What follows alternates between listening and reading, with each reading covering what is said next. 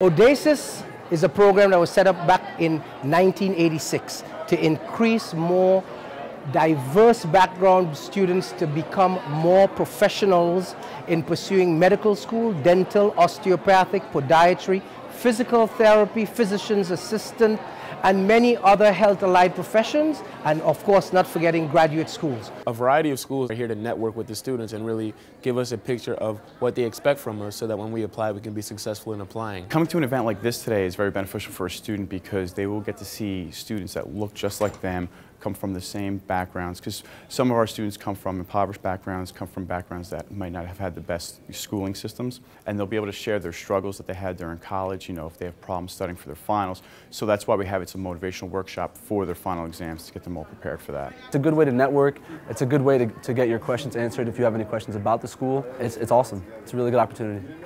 Oh, this is a lifesaver, honestly, because I went to, the high school I went to sucked, honestly. I'll keep it real. But I, so by the time I got here, I knew I wanted to be a doctor, but I didn't know how the heck to get there. I was like, what am I supposed to do? I don't, I don't know how to study. I don't know how to take notes. I don't really know all these things because like I didn't get a good education earlier. I stayed with them all four years. Um, whatever they told me to do, I did. And so I, I just focused, and did what I had to do, stayed on top of my classes. It's like, okay, I can do this. There's no reason why I can't get A's in every class, and I had that mentality, and it just it worked out for me. They definitely gave it the right title with the motivational workshop. And I think that, it, especially for the younger students coming in, it's really great for them to see what they have to look forward to and what lies ahead of them.